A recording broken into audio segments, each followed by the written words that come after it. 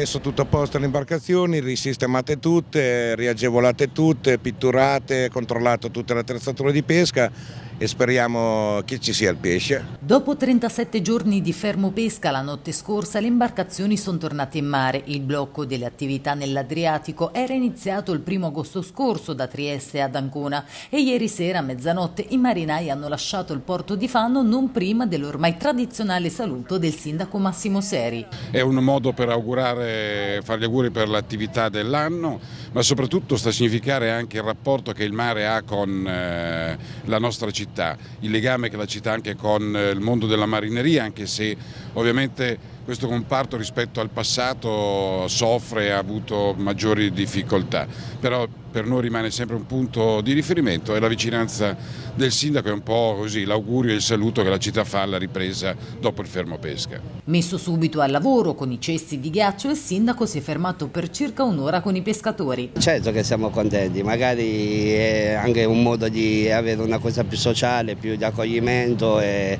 ci fa sentire meno duro il lavoro che affrontiamo. Ecco. Cinque sono le imbarcazioni partite dal porto di Fano, tra i comandanti c'è chi lavora in mare da una vita vita, come Alessandro Ciavaglia, marinaio da 38 anni. Una scelta dovuta alla grande passione per il mestiere nata sin da piccolo, quando guardava con ammirazione il padre pescatore. Un lavoro complesso, però eh, i mezzi di adesso certo sono più comodi, insomma, ecco, ci risparmiano un pochettino la schiena rispetto a 30 anni fa.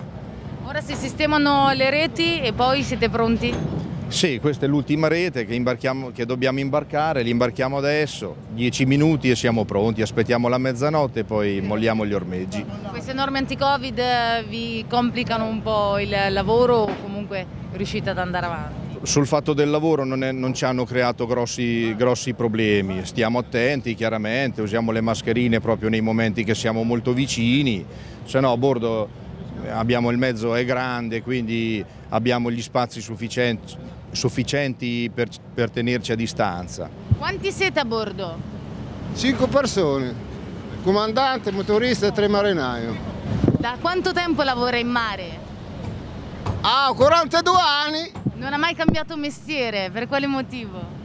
È perché mi piace il mare, io voglio vedere proprio il pesce. Basta, mi sono stufo a vedere in terra. Il marinaio è così, aspetta sempre quella, la sorpresa della vita. A che ora tornerete? Noi partiamo a mezzanotte di oggi e torniamo intorno alle 1 di domani per scaricare il pesce.